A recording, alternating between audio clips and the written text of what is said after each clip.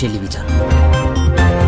राष्ट्रिय सभा अन्तर्गतको प्रत्यायोजित व्यवस्थापन तथा सरकारी आश्वासन समितिले ऐतिहासिक दस्तावेजलाई अनुगमन सुरक्षा र व्यवस्थित गर्ने कार्ययोजना तय गर्न उपसमिति गठन गरेको छ। सिंहदरबारमा मङ्गलबार बसेको समिति बैठकले सभापति रामनारायण बिडारीको संयोजकत्वमा राधेश्याम अधिकारी बलराम बास्कोटा बिना पोखरेल र सुमन प्याखुरेल सहितको पाँच सदस्यीय उपसमिति गठन गर्ने निर्णय गरेको हो। उपसमितिले ऐतिहासिक दस्तावेजलाई व्यवस्थापन गर्नका लागि एक वर्ष कार्ययोजना तय गर्ने समिति सदस्य राधेश्याम अधिकारीले जानकारी दिनुभयो। अभिलेख व्यवस्थापनमा मङ्गलबारको बैठकमा पनि समितिले सरकारवालासँग छलफल गरेको थियो। ऐतिहासिक दस्तावेजलाई व्यवस्थापन गर्ने विषयमा विश्वमा भएका अभ्यासका बारेमा पनि समितिले अध्ययन गरेको थियो।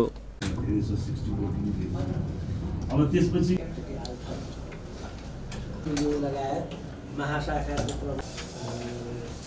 फिडब्याक दिनु।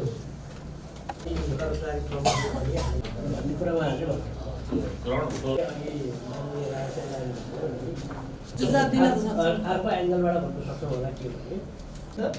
फेरि किनभने अब त्यो कर्मचारीले पनि टाइम टाइम हेर्दैन जानै सकिँदैन क्या एकदम चिसो हुन्छ कुन छ यहाँ त केही पनि थाहा छैन अहिले मैले लागेन भन्नु छ भने अब डिजिटलाइजेसनमा जानको निम्ति भन्नु त डिजिटल डिजिटल भन्यो तर डिजिटलमा जानको निम्ति एउटा पनि बनाउनु पऱ्यो के अरे प्रत्याय